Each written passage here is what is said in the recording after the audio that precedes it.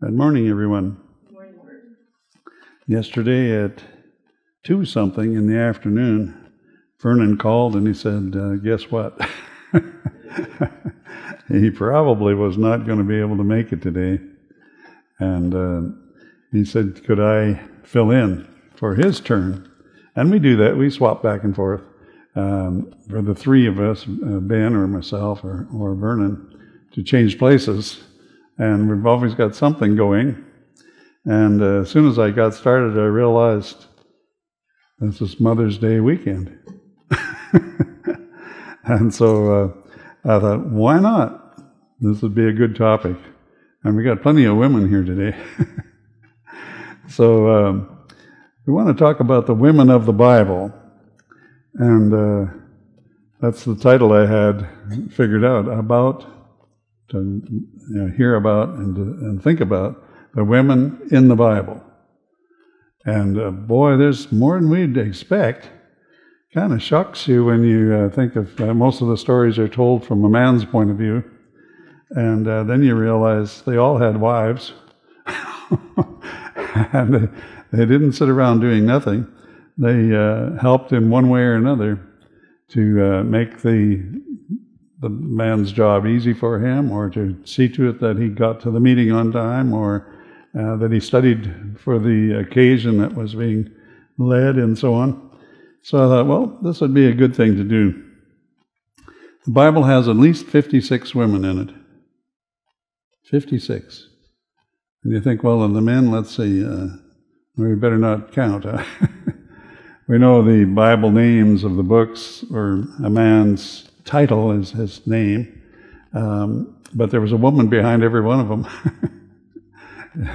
urging him on uh, and to make it work. Uh, it wouldn't work if there wasn't a, con- um, a daily uh, communication, daily work going on.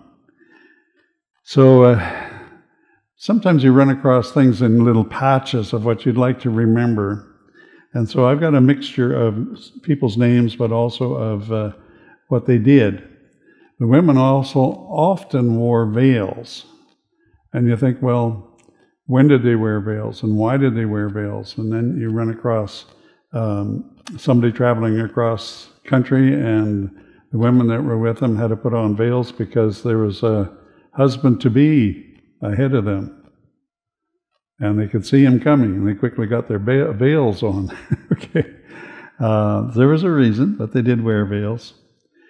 One interesting one that when you run across it, you think, well, what kind of authority did women have and how much under the thumb were they? Probably for a good reason, though, a good thing. God does things right, okay? Well, the women would make a vow, but if the husband heard it and said, that's not a good vow, that's not allowed, I refuse this vow to be heard, it was refused. If there was a, a fight over that, or if she insisted, especially if they were uh, young girls that were not supposed to be doing something in a vow, the father could disallow the daughter's vows as well as his wife's vow. Think, wow, that's pretty bad. God knew something about men and women and behaviors and who's in charge of the home, um, who's supposed to say yes or no, who's going to do this or that. And sometimes the men made very bad vows too. And God honored them. And trouble happened because of it. There's always the good side and the bad side in any topic in the Bible. And we need to read the whole Bible in order to feel that and to understand it, to know what's going on, who's in charge. And who at the end is God going to say, All right, Mr. So and so, what happened at your house. He's not going to say, Mrs. So and so, you're in trouble. The way I hear the scriptures, it's going to be the man, the head of the house, that's going to have to answer. Whoa. Anybody want that responsibility? I'd rather not. you know, so we try to do our very best that when we see our Maker and He asks us questions, that we'll be able to, to answer those things. That uh, is in the book of Numbers where uh, that challenge is about the vows. I won't give all of them, and I don't want to read them all. There's quite a few verses. Of course, if we're talking about 57 different women, 53 at least different women, 56? Okay, I'll get there yet. um, but women had part in everything, which was really interesting to check it out. I'll, I'll read a couple here probably in, in a moment. But uh, where the children needed to be in the meeting, it was compulsory for the children to be there. And the wives. Yeah. Yet it seemed like God was talking to the men and expecting the men to tell their household and to raise their children right and so on. But God knew that both were needed, husband and wife. If the wife refused the husband's leadership, guess what the kids would do? Same thing. Okay? Um, we all have had parents, fathers that treated us maybe unkind or in difficult ways. And, and doesn't Paul talk about that? We got punishments from our parents or punishments from our father. And uh, we survived. okay? God helped us live through it all. And one time when my dad was being particularly ornery and upset, whatever, um, I went to my mother wanting solace, I guess you call it. And um, I didn't know what my mother would tell me. And I didn't know if she was going to agree with me or agree with her husband, because that can make more trouble, right? She said, You got legs, don't you? Thought, oh. Mom is telling me to get out of the way. She didn't say disobey dad. She said, get out of the way. Well, when I found out about that and found mom was really trying to help in a special kind of a way, when my dad would try to do something bad, I'd run. But I realized too that I only had to run about 20 feet. And my dad did not chase me. He did not force me to come back to take a punishment. Wow, different. So my mother's advice was really good. My dad and I had some good times together. He took me deer hunting and so on. We did things together. He taught me to use a rifle um, the, the 22 rifle as well as a bigger rifle. And um, we, so we had some good times together uh, over the years and worked together in certain things. But there was Mother helping out. When there was a worship service, I should have that scripture here handy, but it's somewhere else on my page. Uh, the women were required to be there along with their husbands. Required, not just suggested, they were required to be there. And then the children, naming specifically the daughter and the son, to be there. It's God's command. So uh, while the message was going on about whatever was happening at the time, whether it was the laws of God or, or uh, God's way of do, doing things for religious services, uh, they needed to be there. And they sang. Boy, a church would be dull if it was only the men singing. we sure need the women to sing, right? And you have four parts of the music or more. Sometimes men do four parts, but they cannot go high. I mean, you can go about so high. I watched a, a lady, and uh, it seemingly was her son, but I guess it wasn't. But uh, there was another young man that could go just as high as she could. And the battle was on, you know, and they were singing spiritual song, but she'd repeat it, and then he would repeat it, and then she would repeat it, and then he would repeat it, and finally they had to give up, you know. the fellow wasn't going to be able to get any higher, you know, they quit before that happened. So women sang, and it's mentioned in, in the scriptures of their need to sing in the congregational singing as well as we know specials. Great. Um, women uh, wore certain jewelries, and sometimes we, we get concerned about that what kind of jewelry is appropriate. Sometimes you know, men shouldn't wear wristwatches because it's a, a glitter or it's a um, unnecessary jewelry. And uh, what's another word? Ornament, an ornament that somebody maybe shouldn't wear. Uh, I think that's stretching it too far. When you read in the scriptures of uh, offerings being needed for the temple, for building the temple, the gold, the silver, and so on. Uh, who was giving it? If the women had a ring or a bracelet or earrings in, in their day, they gave it for the building of the temple or ornaments that were needed for the temple to be dedicated to God. The women had those things, jewels, and they gave them. So there's Bible verses for many of those. Uh, the need for the tabernacle was in Exodus 35. Uh, bracelet, earrings, and rings, and tablets, and um, uh, all jewels of gold, and so on they gave. They also had mirrors. Now, sometimes mankind uh, takes the Bible and think, well, it was shiny metal only. I believe man was a whole lot smarter than that to make things out of glass. Why would you wait? There's a trend in some religious circles that man knew nothing until 400 years after Christ. Come on. Did you read the Bible? When did they start making stringed instruments, wooden instruments? They didn't just beat a drum. The fourth chapter of the Bible. Fourth chapter of Genesis. Yes, first book of the Bible. They were making musical instruments. And when they played for a king, of whatever, good king or bad king or evil king, they better all be in harmony. All those instruments were told what the names of the instruments were. I, I wanted to make that into a Sabbath school lesson or something because there's so many instruments named in the Bible. It's really interesting. Some were stringed, some were blown, horns, some uh, like trumpets and sackbuts, and you know, you, you name all the instruments that that they had, and they all played together in harmony. Well, the king could get really upset, right? You don't bring that stuff in here. um, yeah. So people did that. And the women did those things too. They played the instruments and, uh, and made the services work nicely. But the mirrors, uh, we know that they had glass. They had glass bottles. And they had other things that were made of glass. You know how you can tell too? When the oven was made seven times hotter than it's ever been, guess what happened to the sand? Became glass. okay. No problems. They knew about that too. Okay, so uh, the women were required to attend the reading of the law.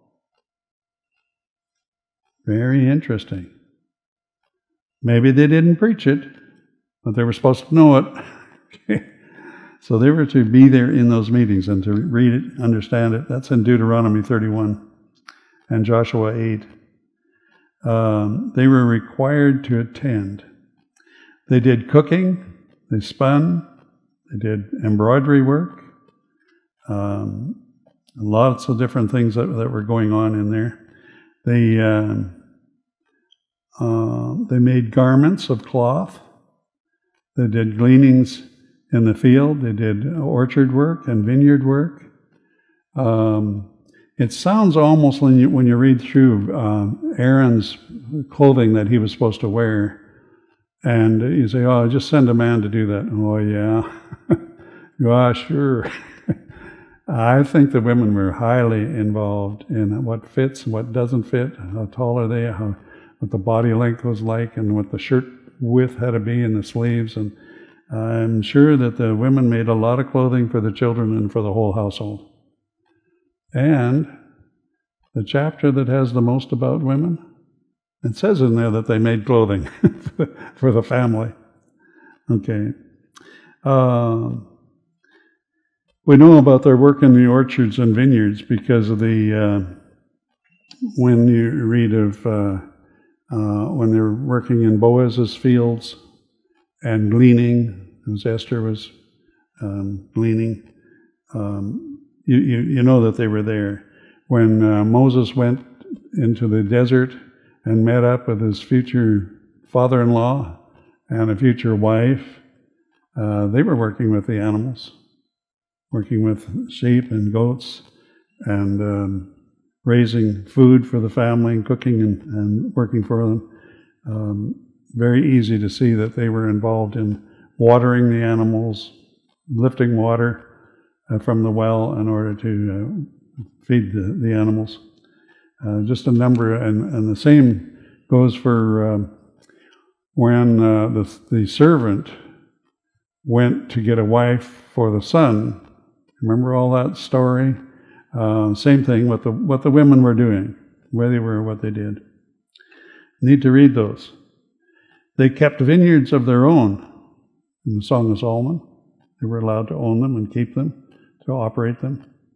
Um, there's part of the verse there in uh, Songs of Solomon, verse uh, chapter one, verse six. They made me to keep the vineyards, but mine own vineyard have I not kept. Wow, the woman had some pressure on her, or a young lady that had to work for the family's well being. And her own, she owned it, it was hers. You know, we're going to catch some of these little words as we go past them. She owned her own vineyard. She tended the flocks and the herds, uh, worked in the fields. Much of that you can you can just grasp by reading through different chapters of the Bible and different stories in the Bible, and you realize where were the women? What were they doing? Uh, they wore ornaments in Isaiah three. They were weaker than men. Uh, yes and no. You realize women can go to war. Women can build ships. You can build airplanes. Where does this weaker come in? When it's a pickle jar. okay. There's certain things that we'd say, okay, get a man, you know, greater grip in your hands, something different. Um, wisdom? No, you're wrong there. Many women have a tremendous amount of wisdom. So that's not strength. Okay? So, you know, you can look these things up in the Bible and realize that they were there. Some had a job. Uh, the ladies were not allowed to be priests. They weren't counted in the Levite count, so they weren't preaching and so on. But watch what scriptures you're looking at as well. Who, who did what? Just a moment, we'll get to a few of them. Uh, I like this one. Women were doorkeepers. My mother always wanted to be a doorkeeper. So I looked this one up yesterday again just to refresh my mind. But go with me to John, book of John. Uh, get the right one here. John 18 first. John chapter 18 and verse 16 and 17. So, chapter 18, John 18, and then we're going to read 16 and 17. But Jesus called them unto him, and said, Suffer the little children to come unto me, and forbid them not, for of such is the kingdom of heaven. Verily I say unto you, whosoever shall not receive the kingdom of God as one of the little ones, little children, shall in no wise enter the kingdom. That's part of the story that I had here, uh, and I realized when I read it that I needed more. So I started looking around. I oh, I did it the same thing. I read it last night in Luke instead of in John. Sorry, turn to John. I read it last night in Luke as well, and then realized I've got to go to John 18. John chapter 18. John chapter 18. I got a paper there. Now, I may need to back up on this a little bit because I've got uh,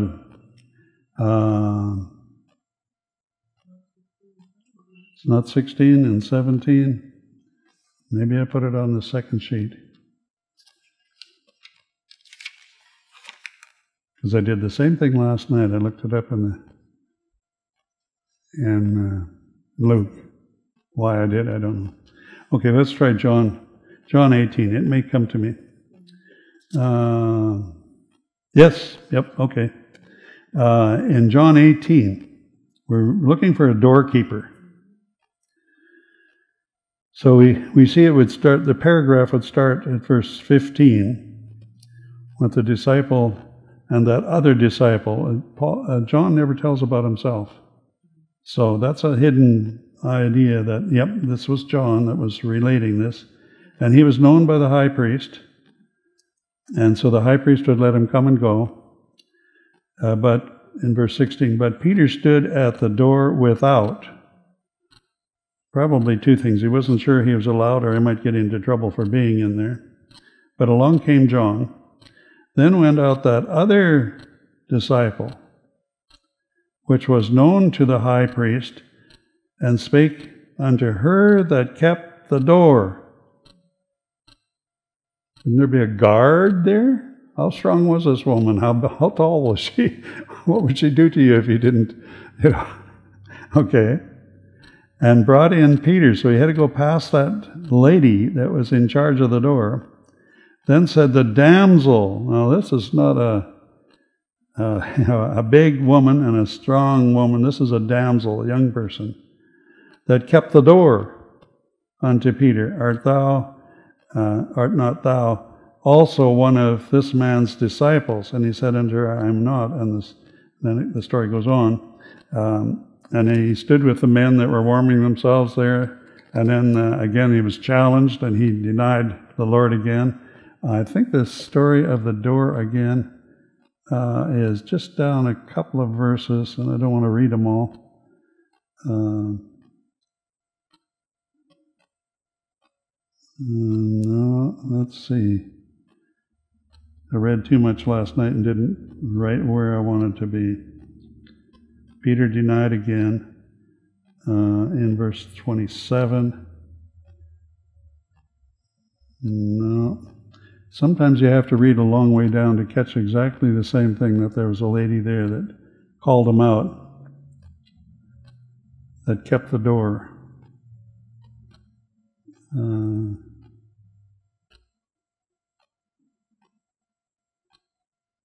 I maybe didn't stay with that idea, or I looked in another book.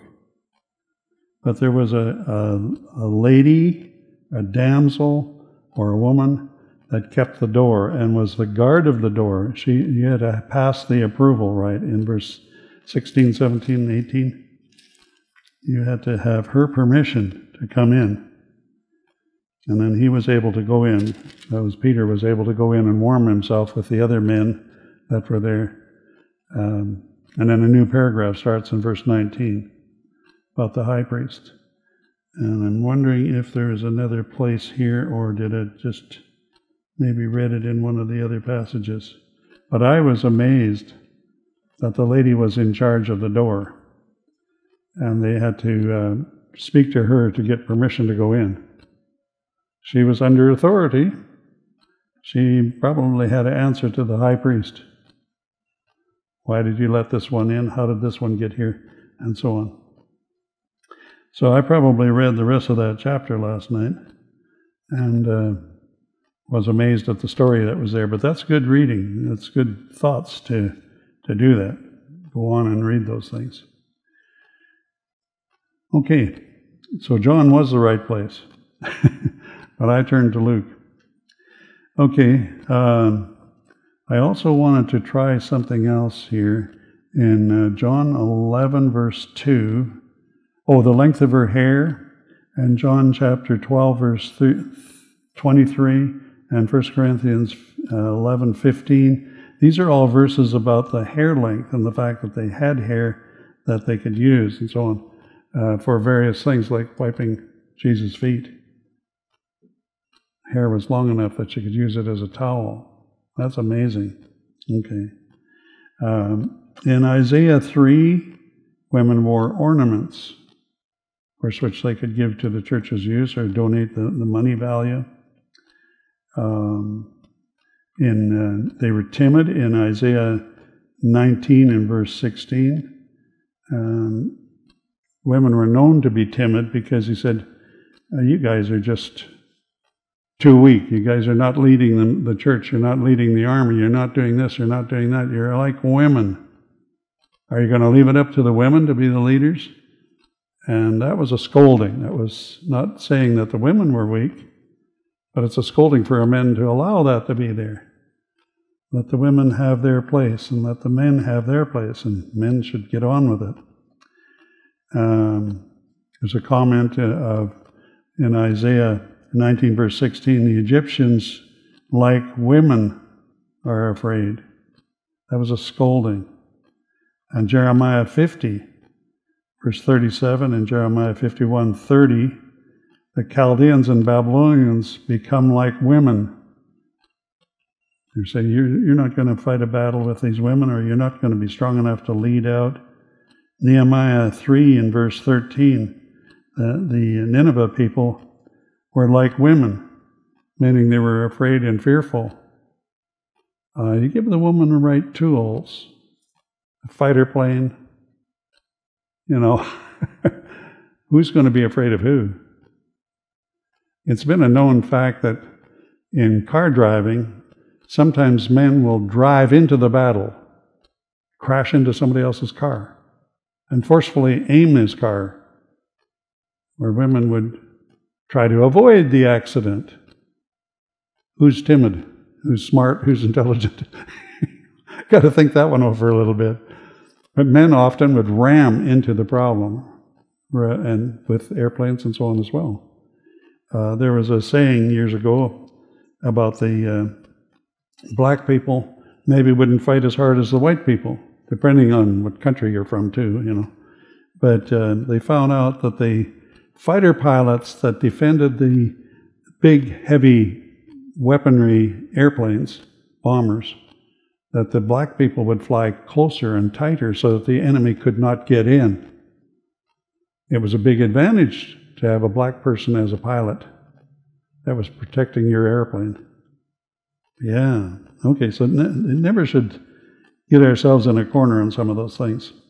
Women were affectionate, they were tender to their offsprings, they were uh, courteous to strangers, meaning foreigners. Women had a heart and, and could, could understand the plight of somebody else, where men would just probably thunder on forward. If they were uh, they were, uh, if they were virtuous, they were held in high esteem. Interesting. That's a good thing for women to think on and to, to live like those kind of women. Um, they were fond of self indulgence, like something that they could put on, some clothing, and that's in Isaiah 32. They liked ornaments. In Isaiah, oh, no, Jeremiah chapter 2 and verse 32. Uh, they liked ornaments. They can be subtle and deceived, silly, easily led into error. Oh, so women have to be careful. 2 Timothy chapter 3 verse 6. Women had some bad traits and bad tendencies. We've all got our errors where we have to fight them, right? Have to fight our errors and fight our, our sins, our bad attitudes, bad ways. A better part about women. Here we go. They were rulers. Isaiah 3, verse 12. As for my people, children are their oppressors, and women rule over them. That's a scolding to the men. But the truth is also that it's a, a positive on the women's side, right? That they were able to do it, they were able to lead. Deborah, find out about her life. Look her up and find out about her life. Athaliah in uh, 2 Kings 11 and 2 Chronicles 22. But there's also people like the Queen of Sheba. You don't want to cut her slack. Candace, Queen of the Ethiopians in, in Acts chapter 8. 27. The Persian queen in Nehemiah 2, verse 6. Women were patriotic. Miriam, Deborah, and others. Patriotic, and they helped defend places. Remember the woman that had the, the uh, grinding uh, stone? And she threw it down from the tower and killed a guy. she was defending her city. okay. Um, patriotic. They wrote poetry like Miriam and Deborah and Hannah and Elizabeth and Mary They wrote, some of them wrote songs and so on. Um, so you want some good things, you know, uh, about what's going on with what women could do. Women could be prophets. Oh, I think never. Now wait a minute. Then you don't know the Bible. They're not a normal thing, but you'd read of Miriam, which prophesied, Huldah, which prophesied, and you read in First, Second Kings, Second Kings twenty-two thirteen and verse uh, 15, first part of 15. There was a college, a school, and and there was uh, quarters divided out and so on in Second Chronicles 34, 22 through 28, um, where these women were, were teaching others. Uh, prophetess uh, Noadiah, uh, it's N-O-A-D-I-A-H, in Nehemiah chapter 6 and verse 14. There's Anna, Oh, remember when Jesus needed to be taken to the temple to be um, uh, prayed over? And uh, that's in Luke chapter 2, 36 through 38. Uh, Philip's daughters. Remember, Philip was one of those seven men that were filled with the Holy Spirit and were chosen men to do certain jobs? Well, Philip's daughters in Acts chapter 21, verse 9 says that they were prophets. Uh, Elijah was the was to prophesy against the daughters of the people which prophesied out of their own heart. So you got bad and good, right? If they were bad, we need to name it and say that they're bad. And that's in Ezekiel 13, verse 17. Women of the Bible were in business, uh, Proverbs 31. Yeah, they owned land. Do you remember the five daughters that had no inheritance because they didn't have a husband? And they had to make a special rule and bring it before Moses and so on to see how, and, and, uh, and Joshua, they had to bring it before them and say, What are we going to do with these women? And they got inheritance.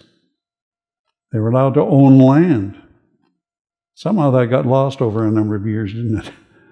Some parts of our country in the United States, women were not allowed to own land, sign for property or vote and so on. Somehow that got lost. They were able to sell real estate. Ruth chapter 4. Wow. okay, don't uh, take things too short because we're just modified by what some men thought about what women could do or couldn't do and whether they had the right to do it. Women were first at the sepulchre. Sure, they were first to sin, Eve, but they were first at the sepulchre. And uh, they were last to leave when Jesus died on the cross, and they were going to go to where Jesus was going to be put in the tomb. But the women were there, and then they, of course, saw where the uh, Savior would be in the tomb. Women were converted at the preaching of Paul, and I got one, two, three, four, five, six verses. I don't think we want to do that today, do we? Our lunch is getting warm. uh, anyway, um, uh, the Greeks, there was women in the Greeks uh, culture and Greek country that accepted the Savior, and um, they uh, not a few, it says. So many of the women accepted Paul's preaching, and Timothy and so on that was with him. Thessalonica, the same thing. The Greeks and chief women were there accepting Savior. Uh, the Bereans that believed, and it says of honorable women, which were Greeks. That's right in the scriptures. That's uh, Acts 17, verse uh, 4 and 12 and 14. So you need to read verse 17, chapter 17, Acts 17. Uh, at Mars Hill, when uh, Paul preached about the um, the uh, God that they were praying to, and he said, "Why are you doing that? I can tell you about the God that made this whole universe, made all of this happen. And the verse there says, There were certain men and a woman named Damaris, in verse 34. And find these women and find out what they were doing and what their names were. And you could go down a list on uh, Mary, for instance, the names of all the ladies that had the word Mary in their name. Uh, there was um, Mary and Martha and Dorcas and, Lu- and Lydia and Priscilla, Phoebe, uh, Julia, and Lois and Eunice and Rhoda. And you, know, you need to find these women in the Bible. Mary Magdalene, Mary the uh, mother of Jesus. Don't forget Vasta, Vast, Vashti, um, and in the Old Testament, she was queen. She got demoted, but she was queen. And then also there you'd find good people like Deborah and Naomi, Ruth and Hannah, Esther, so on, other people. So there's quite a few there that you could find, probably 21, 21 really good women, and others that were not named, like Job's wife, um, Haman's wife, the mother of Samson. Remember what she gave as good advice? Can't you find a woman amongst your own brethren? and to scold her, scold her son. And he said, his dad probably, get that woman, I want her. Oops. um, the lady that fed Elijah, the Shunammite woman who took care of Elisha, um, just various ones. Pilate's wife told Pilate, leave this man alone. I've had bad dreams over this situation. You need to leave him alone. Uh, Lot's wife and daughters, woman that was taken in adultery and brought before Jesus. Potiphar's wife, Midianish woman in the camp of Israel, the daughter of Herodias that asked for the head of John the Baptist. Good and bad examples, both. God puts those in the Bible for us to understand. And here's a few others. Eve. We forget Eve already so far. Sarah, Hagar, Rebecca, Rachel, Leah, Dinah, Tamar, Zipporah, Midian, uh, Miriam, and uh, Rahab, Delilah. Oh, there's there's more here. There's one, two, three, four, five, six, seven, eight, nine, ten, eleven, twelve, thirteen, fourteen, fifteen. That are mentioned more women in the Bible. Sometimes we need to have a list made, kind of, of who they were, where they are, what what was their good traits, what did they do. The women were praying and doing something down by the river. Remember when Paul went and had church service with them? They were meeting there for church service. Women. Interesting. Very good. So I had a different list made at a different time, and I had all these ladies. All these ladies. So I, have counted them there, and there's at least 56 women that are named, or that they were part of it, like the Queen of Sheba or Queen of Persia or so on that you couldn't get a name for, but they're in the Bible. So I guess what the idea is today when we're thinking about uh, discussing, mentioning the value of women, high value of women in the church services, how the church operates, what's done for the church, how things get done, uh, the writings, the transcribing, you name it, all kinds of things that are done by women's hand. So we thank you, women, for being there for the church and helping it to prosper and grow and to carry an office of high value, but just don't often get a name for it. May God bless you.